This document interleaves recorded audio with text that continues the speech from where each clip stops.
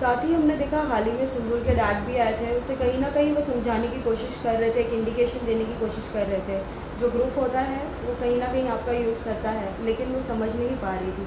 आपको क्या लगता है कि और भी कितने लोग हैं इसमें जो अभी भी एक ग्रुप के चक्कर में फंसे ही जा रहे हैं और खुद का गेम खेल नहीं पा रहे?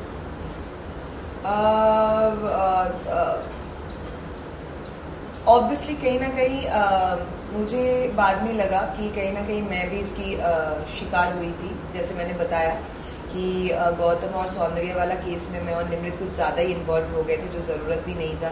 पर आप जब घर के अंदर रहते हो और आप जेनविनली लोगों के लिए केयर करने लग जाते हो।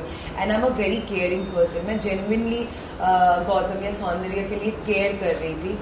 पर जब अब मैं बाहर से आके चीज़ें देख रही हूँ तो मुझे लग रहा है कि कहीं ना कहीं इनका रोमांस भी फेक है। तो मैं क्यों किसी फेक चीज़ के लिए, चीज़ के लिए केयर कर रही थी?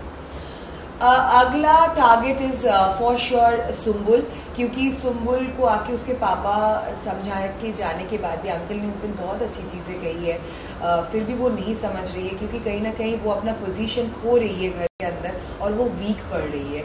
और उसको कहीं ना कहीं किसी uh, किसी का सपोर्ट की कॉन्स्टेंटली ज़रूरत है।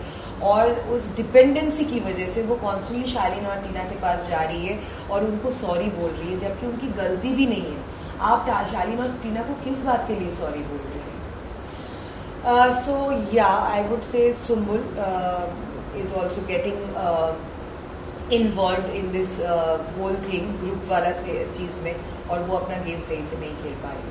साथ ही ये भी जानना चाहेंगे हाल ही में लाइक शालीन ने भी कहा था कि जो मेरी वाइफ है वो मेरी बहुत ही अच्छी फ्रेंड है लेकिन उसके बाद ही बाहर बहुत सारे लाइक रिएक्शंस हैं आपने भी पढ़े होंगे आपने भी देखे होंगे। क्या लगता है जो वो कहते हैं वो सच होता है या फिर वो एक झूठी गेम एक झूठा फेस लाइक नहीं नहीं शालीन का मुझे डेफिनेटली डे वन से ही ऐसा लगता है और बहुत जगह पे भी शायद मैंने ये कहा है that I don't like Shalin because he is extremely fake वो बहुत ही एक फेक इंसान है। वो कॉन्स्टेंटली कोशिश करते हैं कि अपने बारे में एक फेक इमेज क्रिएट करने के लिए और वो अपने बारे में एब्सोल्युटली फेक चीज़ें सोचते हैं। वो मतलब अपने बारे में सोचते हैं कि वो सातवीं सातवीं आसमान में रहते हैं। Like all about air and he is living in a bubble और वो, मैंने पहले भी बोला है कि बबल का क्या होता है ना, कि ज़मीन के ऊपर तो रहते हैं, पर बहुत ही जल्दी फट भी जाता है। तो ही इज़ वेरी फेक और मुझे uh, उनके पर्सनल uh, उस स्पेस पे मैं कमेंट नहीं करना चाहती हूँ कि उनकी वाइफ के साथ उनका क्या रिलेशन है क्या नहीं है क्योंकि मैंने कभी नहीं देखा है उन दोनों को.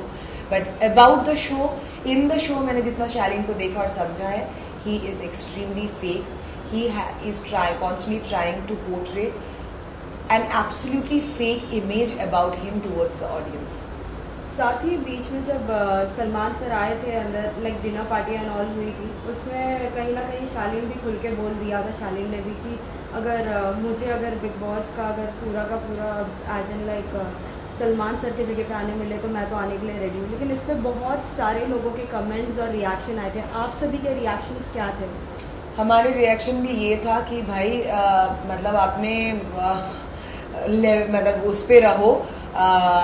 सलमान खान बनने की कोशिश ना करो, क्योंकि दीज आर लेजेंड्स राइट वो लोग लेजेंड्स है, और अगर वो आज एंकरिंग कर रहे हैं तो वो पंद्रह या सोलह सालों से कर रहे हैं और वो डेफिनेटली बहुत अच्छे कर रहे हैं। सिर्फ़ आप, जैसे मैंने बोला, वो फेक इमेज और फेक वजह से, क्योंकि मैं अपने आप को अपने आप के बारे में इतना ऊँचा सोचता हूँ या सोचती हूँ कि मैं अपने आप को सलमान खान की जगह पे देख रही हूँ। बहुत ज़रूरत है कि आपके आँखें खुल जाए और आप उस जगह पे कभी नहीं पहुँच सकते हैं।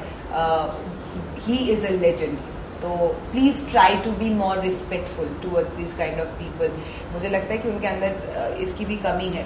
रिस्पेक्ट दिखाने की भी कमी है। जिस तरीके से उन्होंने डॉक्टर के साथ बात किया, या जिस तरीके से वो ये सब बोल जाते हैं he needs to learn morals and how to respect people